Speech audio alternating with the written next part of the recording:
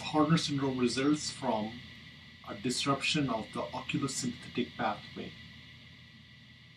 So the sympathetic fibers first start from the hypothalamus and this is where the first order neurons start. So I'm using this as the cell body of the first order neuron in the hypothalamus.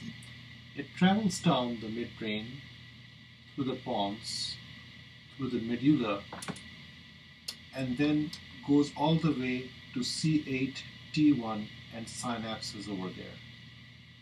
So this is the first order neuron that starts from the hypothalamus. So this is the hypothalamus and ends up into the cilio-spinal center of the spinal cord.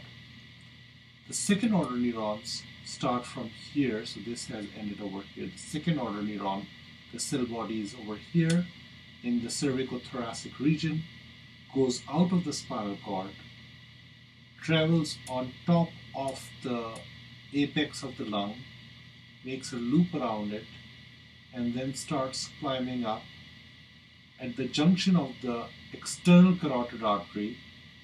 This is the external carotid artery, and this is the internal carotid artery. There is the superior cervical ganglion, and this synapse is over here. So we had the first order neuron, this is the second order neuron, and the third order neuron goes out from here. So some fibers travel over along this external carotid artery and these supply to the sweat glands and other fibers travel along with the internal carotid artery. They form a plexus on the internal carotid artery and these travel along one of the branches of the fifth nerve. In the cavernous sinus, they travel along and go into the eye. These are the fibers that are involved in supplying the smooth muscles of the eyelids and the dilator pupillary muscles. So we have three different neurons that are involved in the sympathetic pathway. So let me use a different color here. So this arrow, this is the first order neurons and first order neuron starts from here and ends here. Then this is the second order neuron which starts from right here and ends here and then we have the third order neuron that starts here so this is the third order neuron starts here and ends in the eye. Horner syndrome consists of three main features. One is ptosis, which is the droopiness of the eyelid. The second is miosis, which is constriction of the pupil. And the third is anhidrosis, which is lack of sweating. Localization of Horner syndrome is very simple. You have to think about the neighbors of the sympathetic tract in different locations. So the, if there is a first order neuron ish problems, we call it a central Horner syndrome. If the second order neuron is involved, we call it a preganglionic Horner syndrome. And if the third order neuron is involved, we call it a postganglionic Horner syndrome. Now you can start thinking about the different structures and how to localize those. So I'm going to use a light blue color here. So let me just use light blue color. Any pathology in the midbrain, if, if there is a pathology in the midbrain, you start looking for other signs of midbrain involvement such as a third nerve palsy, a fourth nerve palsy.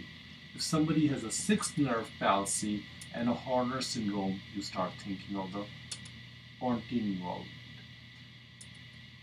If the, if the sympathetic fiber is involved in the medulla, this very often leads to a full lateral medullary syndrome, which is also called Wallenberg syndrome, and you can look up the Wallenberg syndrome in one of my previous videos. If a person has a spinal cord syndrome with Horner syndrome, that basically is revealing in itself.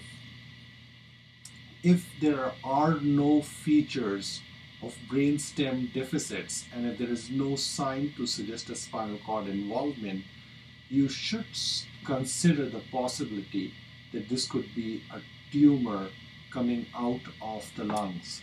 So let me just show you here if the apex of the lung is involved and if you have a tumor that is right there that will that can cause uh, that can involve the sympathetic tract and it will cause a preganglionic Horner syndrome.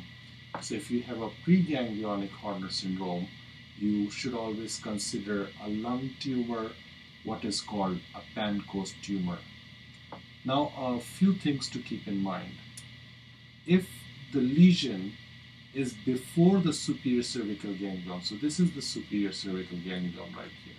So if the lesion is before the superior cervical ganglion, you get a Horner syndrome with anhidrosis, with lack of sweating on the side of the face, the same side of the face.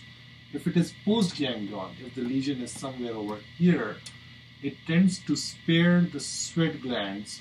You do have some deficits of sweating on the lateral side of the nose and on the forehead, but it's not as vast as if it, it would have been if it was a preganglionic lesion. If somebody presents with a severe neck pain and Horner syndrome, you should consider the possibility that there could be a carotid dissection and the lesion would be somewhere around this area. So that is how easy it is to localize Horner syndrome. The further diagnosis of Horner syndrome can be done by using different chemical agents. I'm not going to go into details about the use of cocaine drops, apraclonidine, and phenylephrine.